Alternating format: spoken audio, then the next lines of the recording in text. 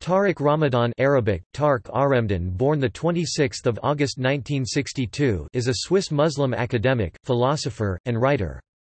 He is Professor of Contemporary Islamic Studies at St Antony's College, Oxford and the Faculty of Theology and Religion, University of Oxford, but as of 2018 is taking an agreed leave of absence. He is a visiting professor at the Faculty of Islamic Studies at Hamad bin Khalifa University in Qatar, and the Université Mundiapolis in Morocco. He is also a senior research fellow at Doshisha University in Japan. He is the director of the Research Center of Islamic Legislation and Ethics CILE, based in Doha. He is a member of the UK Foreign Office Advisory Group on Freedom of Religion or Belief. He was elected by Time magazine in 2000 as one of the seven religious innovators of the 21st century and in 2004 as one of the 100 most influential people in the world and by Foreign Policy Readers 2005, 2006, 2008–2010, 2012–2015 as one of the top 100 most influential thinkers in the world and global thinkers. Ramadan describes himself as a Salafi reformist. In November 2017, Tariq Ramadan took agreed leave of absence from Oxford University to contest allegations of rape and sexual misconduct. The university's statement noted that an agreed leave of absence implies no acceptance or presumption of guilt. In February 2018 he was formally charged with raping two women. He denies wrongdoing and is suing one of his accusers for slander. He is currently in jail awaiting trial. Topic life and career Tariq Ramadan was born in Geneva, Switzerland on 26 August 1962 to an Egyptian Muslim family. He is the son of Said Ramadan and Wafa al-Banna, who was the eldest daughter of Hassan al-Banna, who in 1928 founded the Muslim Brotherhood in Egypt. Gamal al-Banna, the liberal Muslim reformer, was his great-uncle. His father was a prominent figure in the Muslim Brotherhood and was exiled by Gamal Abdel Nasser from Egypt to Switzerland, where Ramadan was born. Tariq Ramadan holds an MA in French literature and a PhD in Arabic and Islamic studies at the University of Geneva. He also wrote a PhD dissertation on Friedrich Nietzsche, titled Nietzsche as a Historian of Philosophy. In 1994, he addressed a French speaking public audience, in Switzerland, with the help of Hassan Iquioussen and Malika Dif. He taught at the Collège de Saussure, a high school in Lancy, Switzerland, and claims to have held a lectureship in religion and philosophy at the University of Freiburg from 1996 to 2003, something the university publicly denied in 2018. He was appointed a professor at the University of Notre Dame in the United States in 2004 before his visa had been revoked by the Bush administration because of the Patriot Act. In October 2005 he began teaching at St. Antony's College, Oxford on a visiting fellowship. In 2005 he was a senior research fellow at the Lokahi Foundation. In 2007 he successfully applied for the professorship in Islamic Studies at the University of Leiden. This led to severe criticism from both academics as well as politicians who deemed Ramadan a radical Islamist and a wolf in sheep's clothing. Ramadan later turned down the appointment, stating that the criticism on his appointment played no role in this decision. He was also a guest professor of identity and citizenship at Erasmus University Rotterdam, until August 2009 when both the City of Rotterdam and Erasmus University dismissed him from his positions as integration advisor and professor, stating that the program he hosted on Iran's Press TV, Islam and Life, was irreconcilable with his duties in Rotterdam. Ramadan described this move as Islamophobic and politically charged. The Court of Rotterdam District ruled in 2012 in a civil law case that the Erasmus University acted careless by dismissing Ramadan on short notice. The dismissal by the municipality of Rotterdam, however, was not careless according to the court. Beginning September 2009, Ramadan was appointed to the chair in contemporary Islamic studies at Oxford University. Ramadan established the Mouvement des Musulmans Suisses, movement of Swiss Muslims, which engages in various interfaith seminars. He is an advisor to the EU on religious issues and was sought for advice by the EU on a commission on Islam and secularism. In September 2005 he was invited to join a task force by the Government of the United Kingdom. He is also the founder and president of the European Muslim Network, a Brussels-based think tank that gathers European Muslim intellectuals and activists. As of 2009, Tariq Ramadan was persona non grata in Tunisia, Egypt, Saudi Arabia, Libya, and Syria, which he has said is because of his criticism of their undemocratic regimes. He is also considered persona non grata in Israel. Topic: Family life Tariq Ramadan is married since 1986 and is the father of four children. His wife is born in Bretagne, France. She converted from Catholicism to Islam and adopted the name Ayman. The couple lives separately. U.S. visa revocation and subsequent lifting In February 2004, Tariq Ramadan accepted the tenured position of Henry R. Luce Professor of Religion, Conflict and Peacebuilding at the Joan B. Kroc Institute for International Peace Studies, at the University of Notre Dame. He was granted a non-immigrant visa on 5 May, however, on 28 July, his H-1B visa was revoked by the State Department. In August 2004, spokesman for U.S. Immigration and Customs Enforcement cited the ideological exclusion provision of the U.S. Patriot Act as the grounds for Ramadan's visa revocation. In October, the University of Notre Dame filed an H-1B petition on Ramadan's behalf. After hearing no response from the government by December, Ramadan resigned his position from the university. In September 2005, Ramadan filed an application for a B visa to allow him to participate at speaking arrangements with various organizations and universities. The government did not issue a decision on Ramadan's visa application, so the American Civil Liberties Union and the New York Civil Liberties Union filed a lawsuit on 25 January 2006 against the United States government on behalf of the American Academy of Religion, the American Association of University Professors and the PEN American Center, three groups who had planned on meeting with Ramadan in the U.S., for revoking Ramadan's visa under the ideological exclusion provision. The ACLU and NYCLU argued that the ideological exclusion provision was in violation of the First Amendment and Fifth Amendment rights of those three groups and that the government's actions violated the Administrative Procedures Act. After two months had passed without a decision being made, the plaintiffs filed a motion for a preliminary injunction. Pursuant to the injunction, the United States District Court for the Southern District of New York ordered the government on 23 June 2006 to issue its decision on Ramadan's pending B visa application within 90 days. On 19 September 2006, the government formally denied Ramadan's visa application. A State Department statement said, a U.S. consular officer has denied Dr. Tariq Ramadan's visa application. The consular officer concluded that Dr. Ramadan was inadmissible based solely on his actions, which constituted providing material support to a terrorist organization. Between December 1998 and July 2002, Ramadan had given donations totaling $940 to two charity organizations, the Committee for Charity and Support for the Palestinians or Comité de Bienfaisance et de Secours aux Palestiniens and the Association de Secours Palestinien. The United States Treasury designated both the CBSP and ASP terrorist fundraising organizations for their alleged links to Hamas on the 22nd of August 2003. The U.S. Embassy told Ramadan that he reasonably should have known that the charities provided money to Hamas.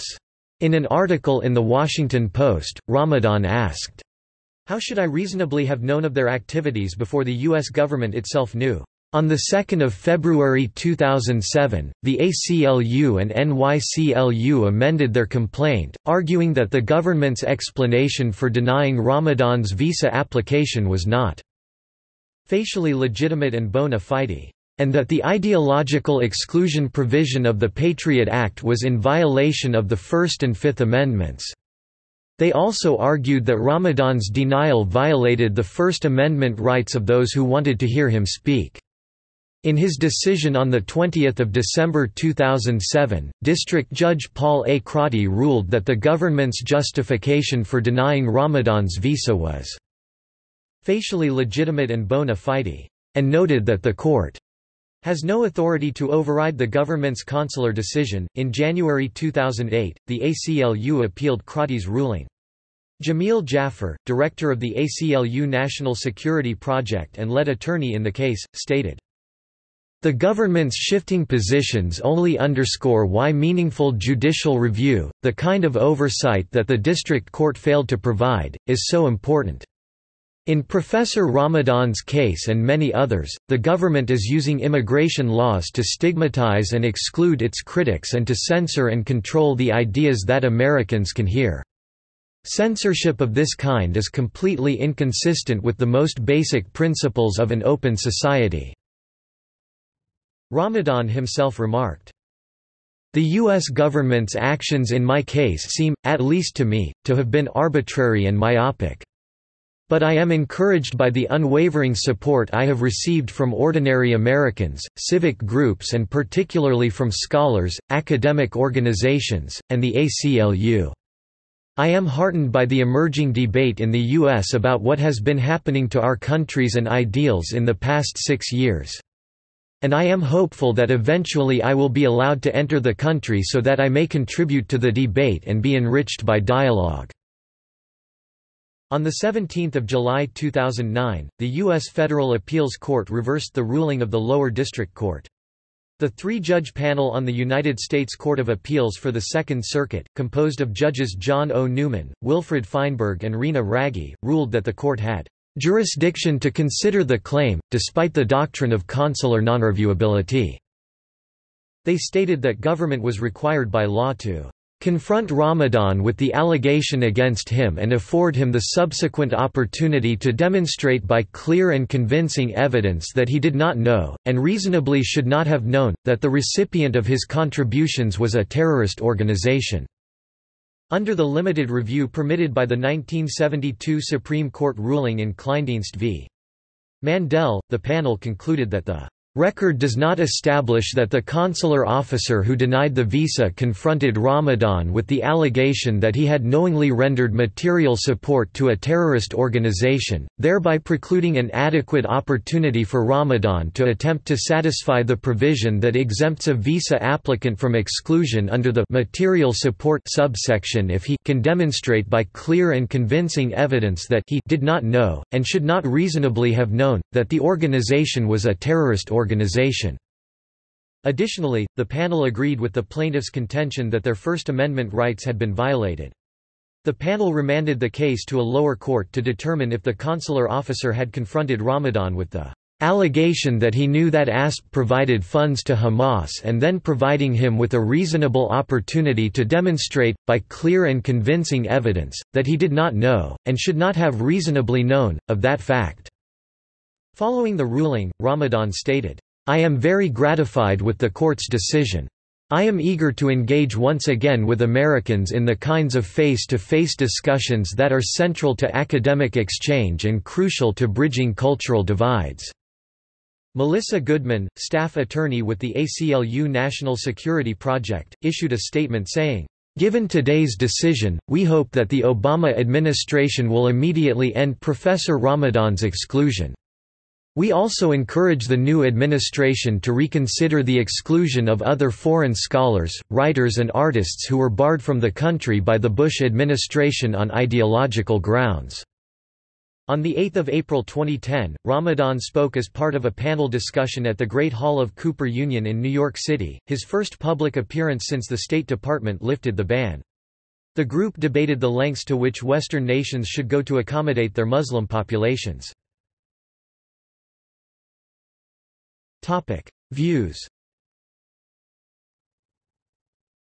Ramadan works primarily on Islamic theology and the position of Muslims in the West and within Muslim-majority countries. Generally speaking, he prioritizes Quranic interpretation over simply reading the text, in order to understand its meaning and to practice the tenets of Islamic philosophy.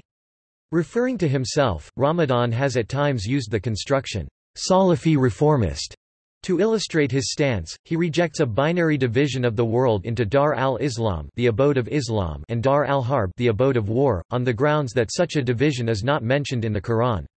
He has been also known to cite favorably the Dar al-Dawa, abode of preaching, for him the Islamic message to which Muslims are expected to bear witness is not primarily the particularist, socially conservative code of traditionalist jurists, but a commitment to universalism and the welfare of non-Muslims. It is also an injunction not merely to make demands on un-Islamic societies but to express solidarity with them. Ramadan has voiced his opposition to all forms of capital punishment but believes the Muslim world should remove such laws from within, without any Western pressure, as such would only further alienate Muslims, and instead bolster the position of those who support hudud punishments.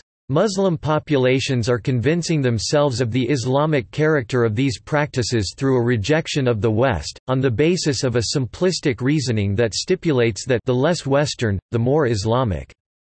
He has condemned suicide bombing and violence as a tactic. Additionally, he contends that terrorism is never justifiable, even though it can be understandable in the sense of having a legitimate cause of resistance behind it. Ramadan wrote that the Muslim response to Pope Benedict XVI's speech on Islam was disproportionate, and was encouraged by reactionary Islamic regimes in order to distract their populations, and that it did not improve the position of Islam in the world. Ramadan wrote an article, Critique des nouveaux intellectuels communautaires which French newspapers Le Monde and Le Figaro refused to publish. Umma.com did eventually publish it. In the article he criticizes a number of French intellectuals and figures such as Alexandre Adler, Alain Finkielkraut, Bernard-Henri Lévy, André Glucksmann and Bernard Kouchner, for allegedly abandoning universal human rights, and giving special status to the defense of Israel. Ramadan was accused, in return, of having used inflammatory language. The underlying content of the essay was sharply criticized as well. Debate In a French television debate in 2003 with Nicolas Sarkozy, Sarkozy accused Ramadan of defending the stoning of adulterers, a punishment supposedly warranted by a section of the Islamic penal code known as hudud. Ramadan replied that Sarkozy was wrong. He said that he opposed corporal punishments, stoning and the death penalty and that he is in favor of a moratorium on these practices to open the debate among Islamic scholars in Muslim-majority countries that enforce them. Many people, including Sarkozy, were outraged. Ramadan later defended his position arguing that, because it involved religious texts that Muslims take seriously, the law would have to be properly understood and contextualized. Ramadan argued that in Muslim countries, the simple act to condemn won't change anything, but with a moratorium, it could open the way for further debate. He thinks that such a debate can only lead to an abolition of these rules. Mauritania ban On 16 July 2016, Ramadan was denied entry to Mauritania at Nouakchott International Airport. He had been invited to give lectures in the country. He claimed the decision came directly from the presidency. Local police confirmed he was expelled. This is the eighth time a Muslim country has denied him entry. Topic. Critical reception Some academics have greeted his works with enthusiasm, detecting liberalizing and rationalizing tendencies. Topic. Praise Paul Donnelly at the liberal online magazine Salon. Com asked rhetorically, Tariq Ramadan, the Muslim Martin Luther? Similarly, an article at The Self described liberal The American Prospect praised Ramadan and his work in particular as an entire corpus consists of a steady and unyielding assault on Muslim insularity, self-righteousness, and self-pity. Criticism In a book published by Encounter Books, Caroline Fourest claimed to have analyzed Tariq Ramadan's 15 books, 1,500 pages of interviews, and approximately 100 recordings, and concludes, "...Ramadan is a war leader," an Islamist, and the political heir of his grandfather, Hassan al-Banna, stating that his discourse is often just a repetition of the discourse that Banna had at the beginning of the 20th century in Egypt and that he presents al-Banna as a model to be followed. She argues that Tariq Ramadan is slippery. He says one thing to his faithful Muslim followers and something else entirely to his Western audience. His choice of words, the formulations he uses, even his tone of voice, vary, chameleon-like, according to his audience. Ramadan claims that Fourest's book contains 200 errors, only three of which she has confirmed. The former head of the French anti-racism organization SOS Racism, Malek Boutih, has been quoted as saying to Ramadan, after talking with him at length, Mr. Ramadan, you are a fascist. In an interview with Europe 1, Malek Boutih also likened Ramadan to a small Le Pen. In another interview he accused him of having crossed the line of racism and antisemitism, thus not genuinely belonging to the alter globalization movement. Bertrand Delanoë, mayor of Paris, declared Ramadan unfit to participate at the European Social Forum, as not even a slight suspicion of antisemitism would be tolerable. Talking to the Paris Weekly Marianne, Fadela Amara, president of Ni Putes ni Soumises neither whores nor submissive, a French feminist movement, Aurélia Filippetti, municipal councillor for the Greens in Paris, Patrick Klugman, leading member of the Conseil représentatif des institutions juives de France, and Dominique Sopo, head of SOS Racism, accuse Ramadan of having misused the alter globalization movement's ingenuousness to advance his radicalism and antisemitism. Egyptian intellectual Tarek Heggy has also charged Ramadan with saying different things to different audiences. Other criticisms have included claims that an essay attacking French intellectuals was anti-Semitic and that Ramadan has shown excessive generosity in his rationalization of the motives behind acts of terrorism, such as in the case of Mohamed Merah. Olivier Guitta, writing in the Weekly Standard, welcomed the U.S. decision to refuse Ramadan a visa, based on Ramadan's supposed links to terrorist organizations, and claiming that his father was the likely author of the project a roadmap for installing Islamic regimes in the West by propaganda, preaching, and if necessary war. Guitta also criticized Ramadan for his campaign against the performance of Voltaire's play Muhammad in Geneva. Similarly, self-described conservative Daniel Pipes concurred with the revocation of Ramadan's visa on grounds of Ramadan's alleged ties with Islamic extremism.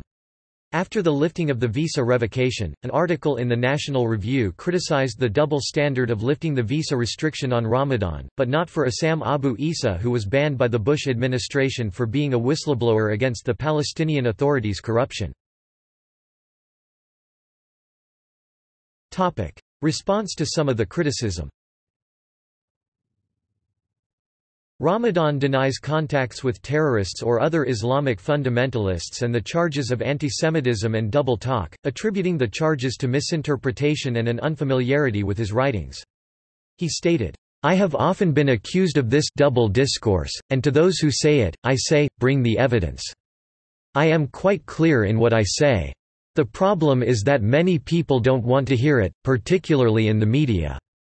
Most of the stories about me are completely untrue. Journalists simply repeat black propaganda from the internet without any corroboration, and it just confirms what they want to believe. Words are used out of context. There is double talk, yes, but there is also double hearing. That is what I want to challenge. In answer to criticism of his response to the 11th of September, Ramadan replied that two days after the attacks he had published an open letter, exhorting Muslims to condemn the attacks and the attackers, and not to hide behind conspiracy theories, and that less than two weeks after the attacks he had stated that the probability of bin Laden's guilt is large, but some questions remain unanswered. But whoever they are, bin Laden or others, it is necessary to find them and that they be judged." And that the interview had been conducted before any evidence was publicly available. Public reception In a free Internet poll by Foreign Policy magazine, Ramadan was listed as one of the 100 top global thinkers in 2008, 2009, 2010 and 2012. Topic: Allegations of rape and sexual violation. In October 2017, secular activist Henda Ayari filed a complaint with the prosecutor's office of Rouen, stating that Ramadan had sexually assaulted her in a Paris hotel. Ayari had previously described the alleged incident in her 2016 book J'ai choisi d'être libre in English I chose to be free, but had not revealed the real name of her attacker. On 20 October 2017, she announced on her Facebook account, C'est une décision très difficile, mais j'ai décidé moi aussi qu'il est temps de dénoncer mon agressor, c'est Tariq Ramadan. This is a very difficult decision, but I also have decided it is time to name my aggressor, it is Tariq Ramadan. Ramadan's lawyer, Yassine Bouzrou, has said he would file a counter-suit for defamation. Bouzrou told the French paper Le Parisien that he denied the allegations and would file a complaint for defamation to Rouen prosecutors. A few days after Ayari, a second woman filed a complaint stating that Ramadan raped her. The disabled 45-year-old French convert to Islam, known in media reports as Christelle, says Ramadan in 2009 lured her into his hotel room where he assaulted and raped her. A third woman claimed Ramadan had sent her pornographic messages and later tried to blackmail and manipulate her. Four other Swiss women subsequently came forth in early November 2017 with allegations that Ramadan molested them when they were teenagers.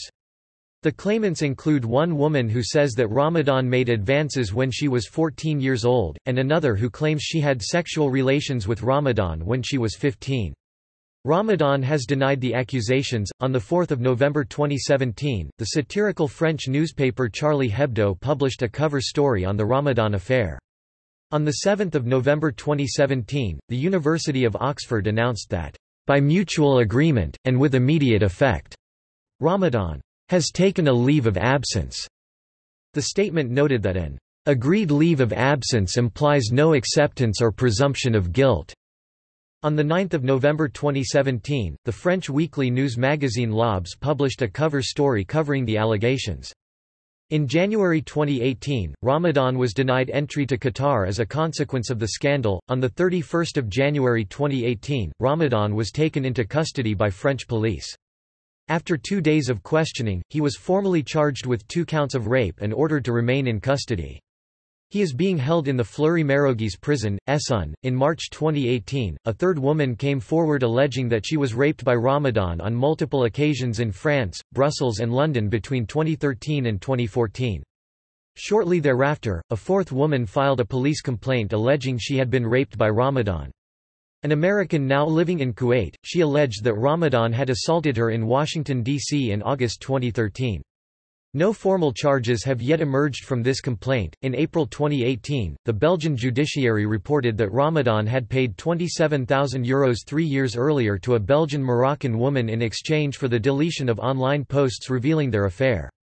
In the posts, she had detailed Ramadan's psychological grip on her. On 13 April 2018, the Swiss newspaper La Tribune de Genève reported that a woman had come forward to the authorities in Geneva and accused Ramadan of a sexual assault involving aggravating cruelty in September 2008. The National reported that he allegedly raped her and held her against her will for several hours in a Geneva hotel room. Later in April 2018, Ramadan admitted that he had been in a sexual relationship with the third rape complainant, who has presented to investigators a dress reportedly stained with his semen, but he insisted that it was always consensual. In May 2018, Ayari modified aspects of her account, according to her based on her diary records, saying that the encounter took place in March 2012 at the Crowne Plaza Hotel in Paris's Place de la République. In a newspaper blog, British journalist Peter Oborne criticised what he saw as failings in the French justice system and hypocrisy of prominent French public figures such as Manuel Valls pointing out that others accused of rape in France, "...await their fate in freedom." Regarding such sympathy for Ramadan over his detention, Henda Ayari, the first of his accusers, said that he is undeserving of sympathy. It is for the courts to decide, she said. Eventually, if French justice says he is guilty, those people may regret their support. In June, Ramadan admitted to having five extramarital affairs, saying that he sometimes acted in ways that were inconsistent with his principles. In that same month, the presiding judges also cleared him of the third accusation, because it had been a consensual extramarital affair, and he remains imprisoned for the first two. In July, it was revealed that the first accuser, Henda Ayari, was at her younger brother's wedding on the date when she was allegedly raped. In October, Ramadan admitted that he had consensual sex with Ayari and Christelle. Topic: Declining health. Since his initial detention, Ramadan has been hospitalized several times for reported multiple sclerosis. His attorney reported that several doctors have said his condition is incompatible with detention. However, the court insisted on maintaining his detention after one of their physicians stated that his condition was compatible with detention. Topic: Awards and nominations In January 2014, Ramadan was nominated for the title of Religious Advocate of the Year at the British Muslim Awards. Bibliography Ramadan has authored books in French and English, some of which have been translated into other languages. Topic: Books published in French 1994, augmented in 1998 Les musulmans dans la laïcité, responsabilités et droits des musulmans dans les sociétés occidentales. Lyon, Tawhid. ISBN 978-2-90-908737-5 1995 Islam, La face-à-face des civilisations, quel projet pour quelle modernité? Lyon, Tawhid. ISBN 978-2-90-908731-3 1998 Aux sources du renouveau musulmans, Dal Afghania Hassan al-Banna un siècle de réformisme islamique. Paris, Bayard Editions, Centurion. ISBN 978-2-22-736314-4 1999 Payet on vivre avec l'islam with Jacques Neirynck. Lausanne, Favre. ISBN 978-2-82-890626-9 1999 Etre musulman européen, étude des sources islamiques à la lumière du contexte européen with Claude Dabic. Lyon, Tawhid. ISBN 978-2-90-908743-6 2000 L'Islam et les musulmans, grandeur et décadence, dans le quotidien de nos vies. Beirut, Editions Al-Borak. ISBN 978-2-84-161082 2000 L'Islam en Questions with Alain Gresh. Paris, Sindbad, Actes Sud. ISBN 978-2-74-272916-6 2001 Entre l'homme et son cœur. Lyon, Tawhid, 978-2-90-908767-2 2001 Le face-à-face des civilisations, quel projet pour quelle modernité. Lyon, Tawhid. ISBN 978-2-90-908758-0 2002 De L'Islam. Lyon, Tawhid. ISBN 978-2-90-908780-1 2002 Jihad, Violence, Guerre et Paix en Islam. Lyon, Tawhid. ISBN 978-2-90-908784-9 2002 Dar ash Shahada, L'Occident, Espace du témoignage. Lyon, Tawhid. ISBN 978-2-90-908783-2 2002 Musselman's d'Occident, Construire et Contribuer. Lyon, Tawhid. ISBN 978 2 90 908781 8 2002 La Foi, La Voix et la Résistance. Lyon, Tawhid. ISBN 978-2-90-908782-5 2003 Le Saint Coran, Chapitre Amma, avec la traduction en langue française du sens de ses versets. Lyon, Tawhid. ISBN 978 2 84 862003 9 2003 Arabes et musulmans face à la mondialisation, le défi du pluralisme. Lyon, Tawhid. ISBN 978-2-84-862017-6 2003 Les musulmans d'Occident et l'avenir de l'Islam, Paris, Sindbad, Actes Sud. ISBN 978 2 74 274005 5 2005 Faux il faire ter Tariq Ramadan, suivi d'une intrition avec Tariq Ramadan WIYH Aziz Zemouri, Paris, L'Archipel. ISBN 978-2-84-187647-1 2006 Mohammed Vie du Prophète, Les enseignements spirituels et contemporains. Paris, Presses du Châtelet. ISBN 978-2-84-592201-3 2008 Un Kemen, une vision, etre les sujets de notre histoire. Lyon, Tawhid. ISBN 978-2-84-862149-4 2008 Face à nos pures, Le choix de la confiance. Lyon, Tawhid. ISBN 978-2-84-862148-7 2008 Quelques lettres du cœur. Lyon, Tawhid. ISBN 978-2-84-862147-0 2008 Faux il avoir pure des religions, with Elie Barnavi and Jean-Michel Di Falco Leandri, Paris, Editions Mordicus. ISBN 978-2-75-570403-7 2008 Islam, La Réforme radicale, Éthique et Libération. Paris, Presses du Châtelet. ISBN 978-2-84-592266-2 2009 Monin Time Conviction. Paris, Presses du Châtelet. ISBN 978-2-84-592290-7 2009 L'autre en nous, pour une philosophie du pluralisme, essay. Paris, Presses du Châtelet.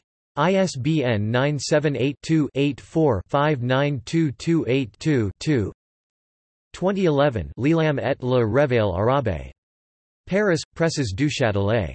ISBN 978-2-84-592329-4 2014 Au peril des idées, les grandes questions de notre temps with Edgar Morin, Paris, Presses du Châtelet. ISBN 978-2-84-592551-9 2014 De l'Islam et des musulmans, Réflexions sur l'homme, la réforme, la guerre et l'Occident, Paris, Presses du Châtelet. ISBN 978-2-84-592417-8 2015 Introduction à l'éthique islamique, les sources juridiques, philosophiques, mystiques et les questions contemporaines. Paris, Presses du Châtelet. ISBN 978-2-84-592607-3 2016 Le Génie de l'Islam. Paris, Presses du Châtelet. ISBN 978-2-84-592631-8 Topic. Books published in English 1999 To be a European Muslim, a study of Islamic sources in the European context. Leicester, UK, Islamic Foundation. ISBN 978-0-86-037300-1 1999 Muslims in France, The Way Towards Coexistence. Markfield, Leicester, UK, Islamic Foundation. ISBN 978 0 86 037299 2001 Islam, the West and the Challenges of Modernity with Said Amgar. Leicester, UK, Islamic Foundation. ISBN 978-0-86-037311-7 2004 Globalization, Muslim Resistances Multilingual, N. Fr. de. It. Sp. Lyon, Tawhid. ISBN 978-2-84-8620016-9 2004 Western Muslims and the Future of Islam. Oxford, New York, Oxford University Press. ISBN 978-0-19-803820-7 2007 In the Footsteps of the Prophet, Lessons from the Life of Muhammad. New York, New York, Oxford University Press. ISBN 978 0 19 530880 2007 The Messenger, The Meanings of the Life of Muhammad. London, Allen Lane. ISBN 978-0-71-399960-0 ISBN 978-1-84-614025-9 2008 Radical Reform, Islamic Ethics and Liberation. Oxford, New York, Oxford University Press. ISBN 978-0-19-533171-4 2009 What I Believe. New York, Oxford University Press. ISBN 978-0-19-538785-8 2010 The Quest for Meaning, Developing a Philosophy of Pluralism.